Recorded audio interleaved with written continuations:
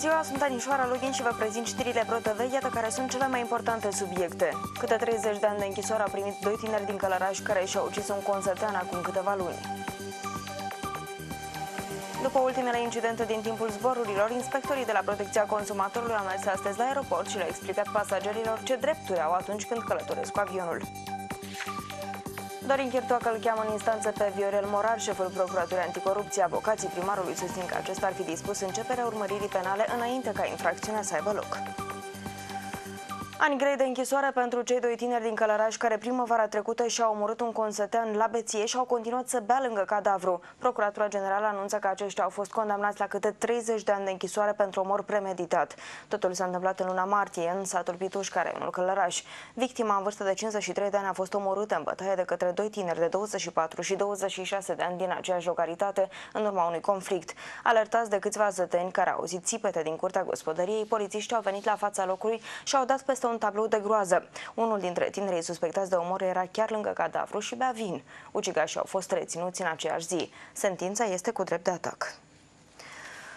Înainte să zboare cu avionul, au fost informați despre drepturile pe care le au dacă apar probleme. Pasagerii de pe aeroport au primit astăzi pliante de la inspectorii Agenției pentru Protecția Consumatorului. Aceștia au îndrumat pe oameni cum să procedeze dacă întârzie ori se anulează zborul. Și deși spun că nu o fac după ultimele incidente în care zeci de oameni au stat blocați pe Creta, de exemplu, inspectorii recunosc că acțiunea e în premieră. Nu le cunosc. Știți unde trebuie să apelați? Nu. Cunoașteți drepturile ca pasager? Puțin. Dacă nu, dumneavoastră întârzie cu două ore sau mai mult, ce trebuie să faceți? Nu vă pot răspunde. Sincer. Da, eu cred că sunt acolo, eu n-am citit eh, instrucțiunile astea. Despre Agenție de Protecție a Consumatorului știți? Nu știu. Я могу по- обратиться в администрацию аэропорта и предъявить свои претензии. Zburați undeva? Da, la Paris. Deja vă știți drepturile. Da, bine, mulțumim. Pentru că puțini sunt cei care știu cum să procedeze în cazul în care întârzie sau se amână zborul lor, inspectorii de la Protecția Consumatorului au încercat să le explice care le sunt drepturile. Unii totuși sunt convinși că și dacă ar depune plângeri, nu vor primi despăgubiri. Nu reimbursează nimeni. Întotdeauna pasagerul e vinovat, nu e compania sau altcineva. Cui vă adresați sau ce puteți cere? Cer de la, de la reprezentantul agenției de care am cumpărat biletul. Nu întotdeauna se primește. Știu că așa se face psihotare. Responsabilii de la Protecția Consumatorului spun că cei care le solicită ajutorul pot fi numărați pe degete. Plângeri au depus totuși șase pasageri care au zburat cu Fly One pe cursa Heracleo Chișinău. De la începutul perioadei estive, în fiecare săptămână, circa două, trei petiții vin către Agenția pentru Protecția Consumatorului. Probabil că pasagerii călătoresc mai mult și respectiv se adresează la noi. Petițiile au fost cu privire la întârzierea zborurilor, cu privire la neacordarea compensațiilor. Acum două săptămâni, zeci de moldoveni au stat blocați pe Creta mai bine de o zi, pentru că avionul companiei Fly One s-a defectat. Între timp, compania a anunțat astăzi că zborurile de vineri de pe aceeași cursă Chișinău-Heracleo-Chișinău vor fi anulate din 21 iulie. Zborurile vor fi operate doar miercuri și duminică. Decizia a fost luată la cererea agenției de turism, care vinde bilete spre această destinație. Începând de astăzi, toți cei care traversează frontiera prin punctul Cuciurgan-Pervomaisc vor fi verificați o singură dată. Vame și moldoveni și cei ucraineni vor face controle comune. Premierul Pavel Filip și președintele ucrainean Petro Poroșenko au inaugurat astăzi primul punct de frontieră comun moldo-ucrainean. Pentru că administrația de la Tiraspol s-a opus, punctul comun, care este de altfel primul de acest fel, a fost amenajat pe teritoriul Ucrainei. Deși Tiraspolul afirmă că verificările comune vor institui o blocadă economică în regiune, autoritățile de la Chișinău dau asigurări că punctul comun de trecere a frontierei va reduce contrabanda și corupția la vamă. Avocații lui Lanșor și procurorul de caz au la dispoziție 15 zile pentru a contesta sentința primarului de Urhe, prin care acesta a fost condamnat la 7 ani și 6 luni de închisoare. Astăzi au primit sentința motivată în dosarul Șor, ceea ce permite ca dosarul să ajungă la curte de apel. Aflat în libertate, primarul de Urhei își va executa pedepsa doar după ce a doua instanță se va pronunța, se arată în decizia judecătoriei Buiucani. Șor a lipsit de la ședință pe motiv care de lucru la primărie. Magistrații de la judecătoria Buiucan au motivat decizia în 104 pagini, care în următoarele zile ar urma să apară pe site-ul instanței. Astfel, deocamdată nu se știe ce conține exact aceasta. Avocații ne-au spus că urmează să studieze documentul ca să-l poată contesta și că nu intenționează să-l facă public. Acum câteva săptămâni, avocații au cerut ca lui Șor să îi se permită să plece la Bruxelles, acolo unde ar fi așteptat de câțiva europarlamentari pentru a discuta despre dosarul său. Это приглашение в силе до сих пор. Э, Наше ходатайство не было рассмотрено, потому что судья, которому это попало на э, рассмотрение, находи- находился в отпуске.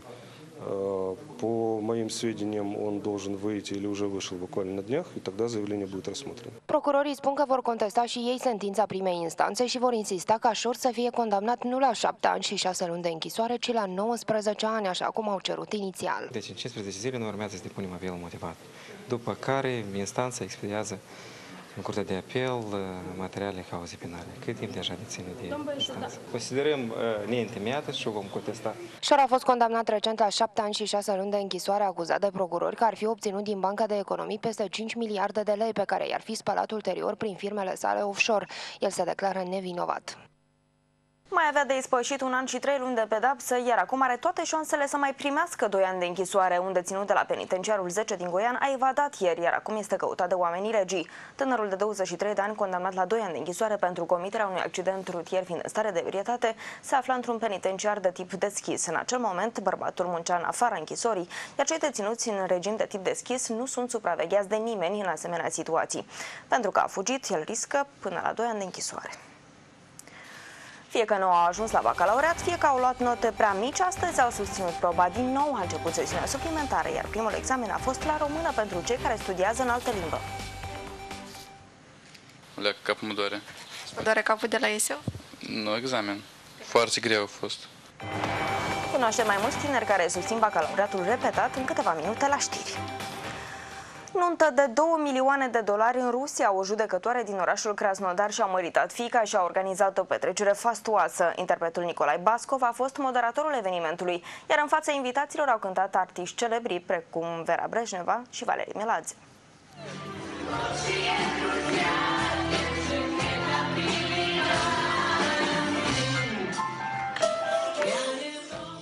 Vera Brejnev, alături de Mirea și Mireasă, cântă pe scenă. Invitați selecți fredonează melodiile și se distrează pe cinste. Este doar un mic fragment surprins la o nuntă din Krasnodar. Ceremonia, asemenea unui film de la Hollywood, a fost filmată cu macaraș și tehnică de ultimă generație. Nunta a fost moderată de Nicolae Basco, fiind surprins deseori îmbrățișându-se cu gazda evenimentului.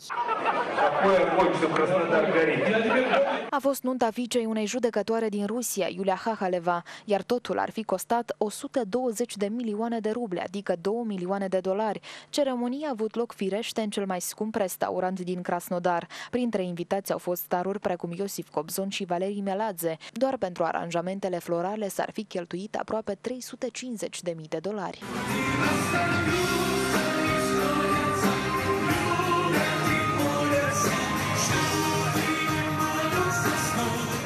De lux organizată de o judecătoare a provocat un adevărat scandal pe rețelele de socializare, iar internauții s-au întrebat cum un funcționar public și-ar putea permite un asemenea eveniment. Jurnaliștii ruși au scris că Iulia Hahalev a declarat venituri de 2 milioane de ruble pentru anul trecut. Asta ar însemna că ea ar avea nevoie de 45 de ani pentru organizarea nunții. Mai mult, familia Hahalev este cunoscută în Rusia pentru scheme dubioase ce vizează loturi de pământ. Judecătoarea a spus însă pentru jurnaliștii ruși că de fapt totul a fost plătit de fostul ei soț, care este un om de afaceri, iar vedetele au venit în calitate de oaspeți. Chiar și așa, scandalul a ajuns până la urechile Kremlinului. Dmitri Peskov a afirmat că există organe competente care se vor ocupa de investigații. Проверить и понять, за чей счет этот банкет, кто его оплачивал. И если это действительно был государственный служащий в лице судьи, то его ждут соответствующие проверки. Anul trecut, o altă nuntă de lux a ajuns în atenția presei, organizată de un miliardar care și-a însurat fiul. La ceremonie au cântat vedete de peste hotare, cum ar fi Enrique Iglesias, Jennifer Lopez și Sting.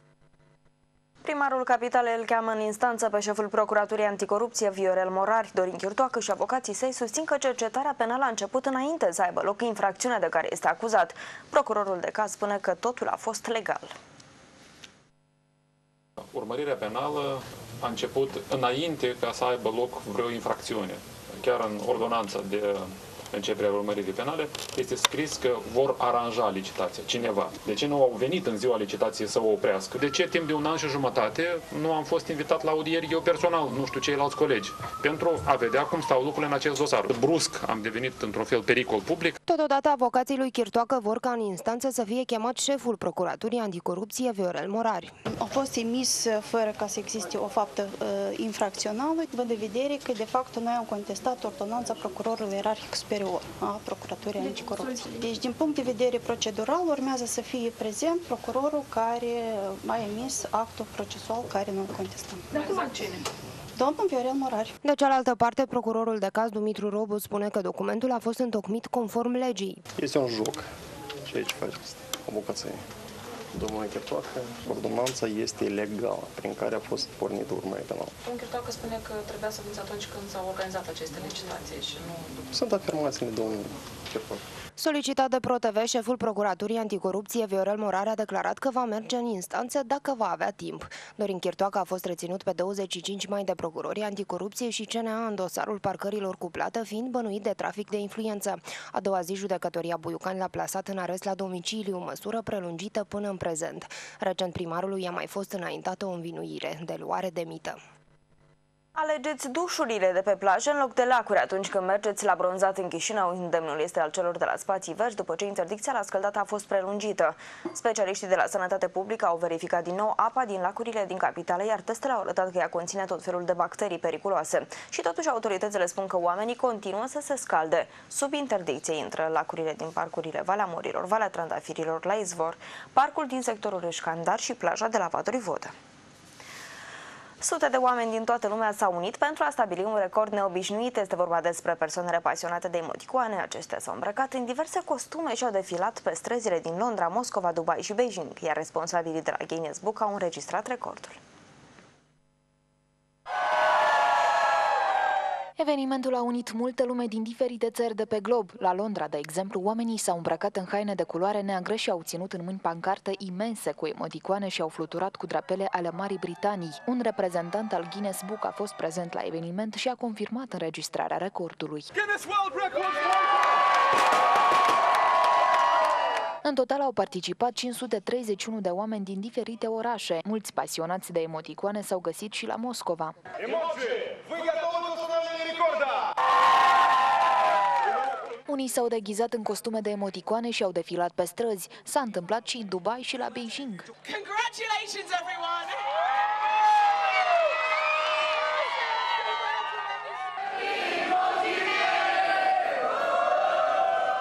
Cei de la Guinness Book au înregistrat recordul pentru cel mai mare număr de persoane deghizate în emoticoane în același timp. Fără emoții și mai bine pregătiți, așa au venit elevii care studiază în altă limbă decât română la prima probă repetată la examenul de bacalaureat. 117 elevi vorbitori de limba rusă au susținut proba la limba română. Pe lângă cei care au luat note mai mici de 5, mai au o șansă și cei care nu au reușit să ajungă la examen, dar și absolvenții care vor o notă mai mare. Cum v-ați descurcat? Что? Я вас не... Nu înțelegeți română? Нет. Dar cum ați scris Darbacul? Ну, как вам сказать, я румынский не учил, но я силами стараюсь учить. Zici că nu ai nevoie de română? Хотел бы я оценку 10, что? Obișnuiți deja cu trăirile de la bacalaureat, elevii spun că a doua oară a fost mult mai ușor. Acum nu a mai fost nici luceafărul care li s-a părut atât de dificil în sesiunea de bază. Лучафру. A fost odată ca niciodată. Я уже не помню. Ți-ai minte uh, vreo strofă? Ну, приготит Лучафру și nu scris normal. Dar acum te-ai pregătit? Da. Pentru alții însă testul a rămas la fel de dificil. Leacă capul mă doare. Vă doare capul de la ESEO? Nu examen. Foarte greu a fost. Acest băiat a luat 5 în iunie, acum vrea mai mult. Мне не нравится эта оценка. Я рассчитываю на больше. Iar acest tânăr în sesiunea de bază s-a limitat doar să-și semneze lucrarea și a plecat. Astăzi a scris mai multe. Eu eram stresat mai mult. Da, avem emoții și... Dar acum nu ai emoții? Nu. De ce? Nu. Nu știu. Am scris patru bacuri și după asta m-am simțit mai ușor. Eram gata. Sesiunea suplimentară va avea loc timp de o săptămână. 19 limba străină, 20 disciplina de profil, 21 disciplina la solicitare și 24 limba maternă. La sesiunea repetată vor participa peste 4.000 de elevi. După anunțarea rezultatelor la examenele de bacalaureat, au fost depuse peste 12.000 de contestații, iar aproape 2.000 de note au fost mărite. Câte kilograme de pepene pot fi mâncate în 60 de secunde? 3. Acesta este recordul stabilit la un festival al pepenelui verde din Armenia. Ce sculpturi din pepene au fost aduse la eveniment, vedeți în continuare. A fost panică într-un parc de distracții de la Madrid. Peste 30 de oameni au fost răniți după ce două trenuri s-au ciocnit. Mai mulți oameni au ajuns la spital fiind internați, iar poliția a deschis o anchetă. Oamenii nu au înțeles din start ce se întâmplă, întrucât aveau măști pe față. Acest parc de distracții este primul din Spania care a inclus și un sistem de realitate virtuală. Unul dintre vagoane deja și-a încheiat călătoria, însă nu a oprit acolo unde trebuie, așa că un alt tren a intrat în acesta. 33 de oameni au avut nevoie de ajutor. Printre cei răniți erau și șase copii mai mici de 10 ani, menționează jurnaliștii spanioli. principio que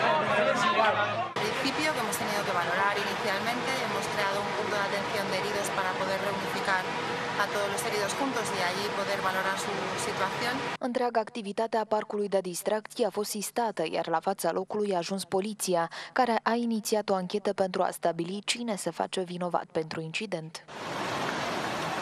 Trenul cu pricina se ridică la 17 metri și jumătate deasupra solului și se deplasează cu 55 de km pe oră.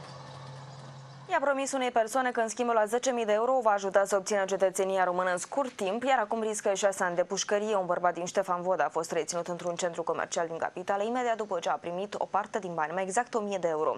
Potrivit CNA, sub pretextul că ar putea influența funcționari din cadrul Autorității Naționale pentru Cetățenie din România, individul i-a promis unei persoane că îi poate aduna tot pachetul de acte și ulterior să-i obțină cetățenia română în termen scurt.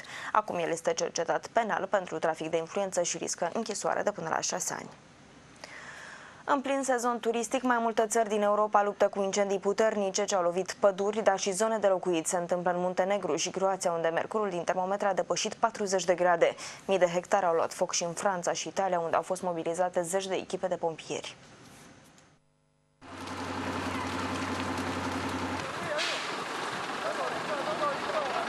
Peste 700 de turiști au fost evacuați din Sicilia, unde incendiile s-au extins rapid, distrugând aproape 3000 de hectare de pășune. A fost afectat cel mai mult centrul și sudul țării, între care localitatea Toscana. Acolo au fost închise mai multe zonele camping, iar traficul rutier a fost sistat din cauza fumului negru.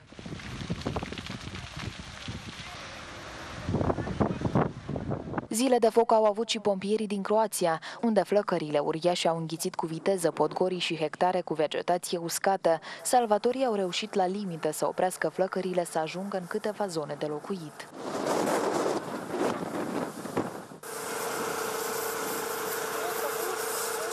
Dramatično.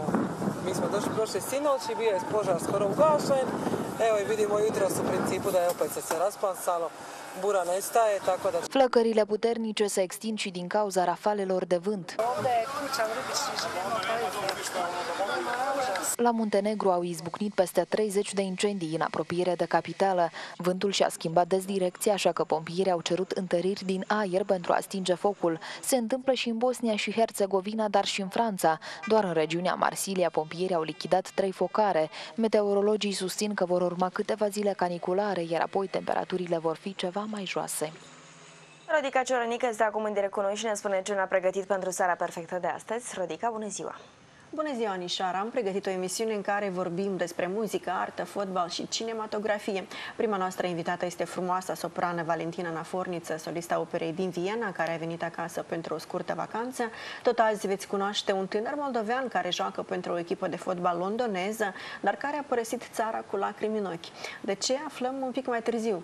Tot azi vorbim despre trei festivaluri, festivalul de film de lungmetraj TIF, care demarează curând la Chișinău, despre Chronograph Tour, festivalul de film documentar documentar care călătorește prin satele noastre și festivalul de muzică pe care Alex Calanci îl duce a doua oară deja în localitatea sa de Baștin, adică la Cuhnești. Despre toate acestea vorbim pe final cu Alex. Eu vă aștept la 18 fără un sfert și sunt sigură că o să vă mai placă și alte subiecte din această seară perfectă. Anișoară? Radica, îți mulțumesc. În trei luni, doar 10% din crengile rupte și copacii doborâți au fost mărunțiți. La mijloc de vară, autoritățile locale susțin că încă luptă cu urmările ninsorilor din aprilie. Cel mai mare tocător de crengi s-a defectat, așa că se lucrează la foc mic. Mai funcționează unul la Ciocana.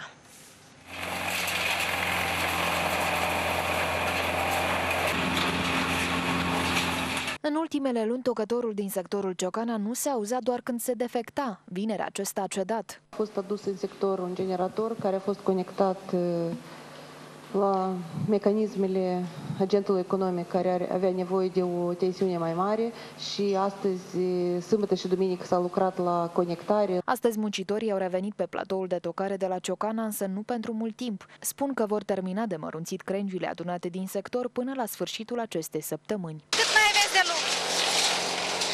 Nu se termină. După tocare, rămășițele sunt duse în curtea unui depozit. Din aproape 50 de tone de rumeguș de pe platoul de la Ciocana se vor face peleți. De două ori mai ieftin ca cărbune și ecologic curat. Și azi putem să vă vindem. Potrivit viceprimarului, tocătorul de pe stadionul Republican va funcționa de mâine. Nistor Grozavu mai spune că pentru a mărunți toate crengile și arborii doborâți ar fi nevoie de șase tocătoare. Totuși nimeni nu a venit încă după crengi, deși acum câteva zile autoritățile au anunțat că oricine poate să le ia gratuit. Este sectorul centru, este finalizat primul a fost. Este finalizat sectorul Buiucani, este finalizat sectorul Ciocana. În sectorul Rășcani au mai rămas ceva pe unele curți și 17 asociații de locatari. Iar în botanică, la momentul actual, sunt în jur de 40 de curți de bloc. Autoritățile spun că vor aduce un tocător mai mare din Sângerei, pentru care vor cheltui aproape 2 milioane de lei din bugetul primăriei. Cei de la Spații Verzi nu știu cât timp le va mai lua pentru a scăpa de crengi. Din el poți face o vază de flori, un portret sau chiar un vapor. Este vorba despre pepenele verde, care a fost vedetă la un festival din Armenia. Zeci de oameni au venit la sărbătoare ca să mănânce fructul dulce, dar și să învețe să creeze diverse figuri din acesta. În doar câteva minute, acest pepene verde s-a transformat într-un ananas, iar altul a luat forma unei păpuși. Mulți oameni care au venit la festival s-au grăbit să-și cumpere o vază pentru flori, tot din pepene verde, iar comercianții au asigurat că plantele vor rămâne proaspete mai mult timp dacă vor fi ținute în apă dulce. Vizitatorii au fost surprinși cu portretele diferitor personalități de talie mondială. Fotbalist Messi. Oamenii au făcut cozi la tarabe și au scos telefoanele pentru a fotografia cele mai neobișnuite obiecte create din pepene. Alții s-au grăbit să guste din fructul dulce. М. Просто не, не описать.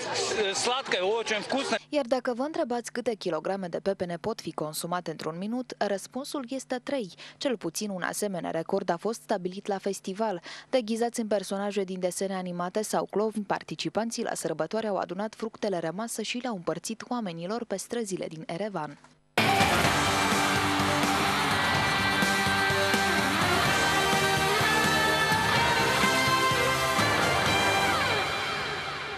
Oleg Tarnovski este vicecampion european la canoe sprint. Ucraineanul naturalizat care reprezintă Moldova a cucerit medalia de argint pe distanța de 500 de metri. Tarnovski a parcurs-o într-un minut 46 de secunde și 792 de mii. El a fost devansat doar de cehul Martin Fuxa. La turneul din Bulgaria, sportivul nostru a, a concurat și în finala probe de canoe simplu 5000 de metri, însă a ocupat abia locul 8. Oleg este fratele lui Sergei Tarnovski, canotorul care a fost prins dopat la Jocurile Olimpice. Sergei a fost suspendat pe un termen de 4 ani, iar medalia de bronz cucerită la Rio i-a fost retrasă.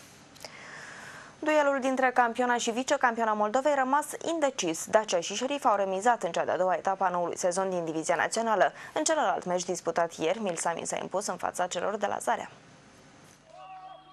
Meciul central al etapei a doua a noului sezon din Divizia Națională s-a încheiat la egalitate. Dacia și Șerif au remizat ieri scor 1 la 1. Lupii galbeni au condus încă în minutul 12 când Gheorghe Anton a înscris în propria poartă după o fază fixă. Scorul final a fost stabilit în prima repriză. Brezoveț a marcat golul egalizator.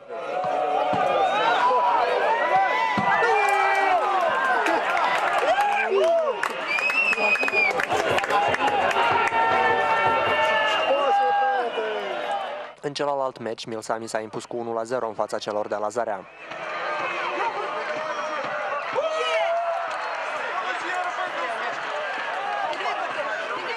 Unicul gol al partidei a fost înscris de Oleg Andronic. Jucătorul a evoluat doar două meciuri pentru Dacia în campania Europa League, după care a ajuns la Milsami. Bun la fotbal, bun și la farsă. Marcelo, fundașul celor de la Real Madrid, a făcut o surpriză cu echipierului său Danilo de ziua lui de naștere. L-a împroșcat cu ouă și a aruncat cu făină în el.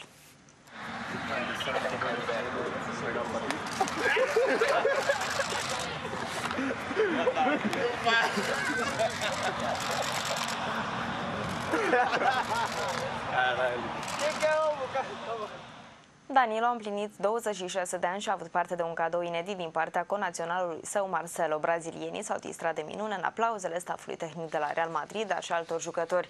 Danilo ar putea pleca în această vară de la Galactici. Este dorit de campioana Angliei, Chelsea. Fază rară în fotbal la meciul dintre FCSB și voluntare, arbitrul a ieșit la a doua repriză fără cartonașe. El și-a adus aminte minutul 65 când a vrut să avertizeze un jucător. La acea minge și uh, este chemat uh, George Găman la marginea terenului de arbitrul de rezervă, George Rădulescu, dar nu, uh, nu e vreo problemă. Arbitrul principal și-a dat seama că nu are cartonașele la el și a mers să le împrumute de la arbitrul de rezervă. A revenit imediat la jucător și a arătat cartonașul galben lui Mihai Popescu de la FC Voluntari. FCSB a avut un meci dificil aseară, a deschis scorul din penalti prin Constantin Budescu. După pauză, oaspeții au egalat prin golul lui Adrian Bălan. FC Voluntari a rezistat până în prelungiri. Puștul Denisman a dat lovitura de grație. William de Amorim cu o centrare, Teixeira în spate, Denisman!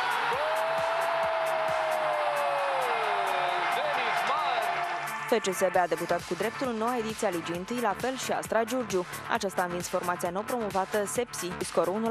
Marquinhos a marcat golul. Înțelege aici cu Balaure, Marquinhos continuă la marginea careului, vine centrarea, gol! Nu cred că a fost atinsă de nimeni această minge, este golul marcat. Victorie imensă acasă. Lewis Hamilton a câștigat cursa de Formula 1 din Marea Britanie. În clasamentul general al sezonului, Hamilton s-a apropiat la doar un punct de rivalul său Sebastian Vettel, care a avut ieri mari probleme. Lewis Hamilton de la Mercedes a pornit din pole position pe circuitul de la Silverstone. Kimi Raikkonen și Sebastian Vettel de la Ferrari l-au urmat. Aceștia au sperat să-l depășească pe Hamilton până în ultimele tururi, atunci când cursa lor s-a transformat într-un dezastru. Pneul stânga fața lui Raikkonen s-a dezintegrat și finlandezul a fost nevoit să intre la boxe. Imediat situația s-a repetat și la Vettel. And Sebastian Vettel's gone off and maybe it is getting slippy. He's got a puncture too. Prin urmare, Vettel a încheiat cursa abia pe locul 7. Hamilton a câștigat cursa. Lewis Hamilton, once a four-time winner of the British Grand Prix. It's a fifth British Grand Prix win.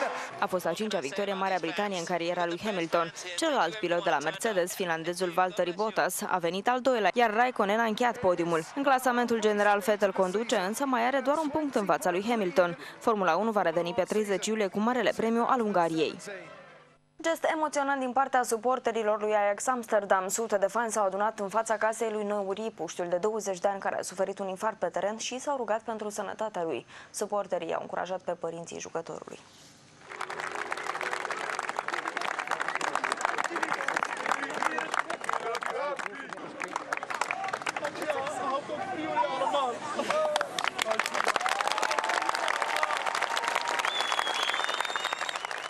Fanii celor de la Ajax au venit la casa lui Nuri pentru a-i ura sănătate, iar părinții jucătorului nu și-au putut stăpâni lacrimile.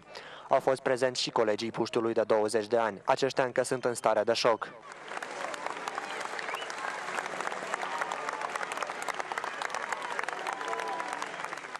Nuri, mijlocașul de 20 de ani de la Ajax, s-a prăbușit la pământ în timpul unui meci amical disputat săptămâna trecută.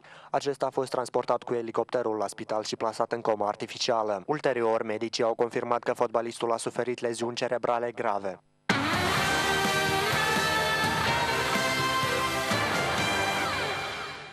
Doamnelor și domnilor, jurnalul se încheie aici. Urmează emisiunea O seară perfectă cu Rodica Ciorănică. Eu vă spun la revedere, vă urez o seară frumoasă și o săptămână reușită.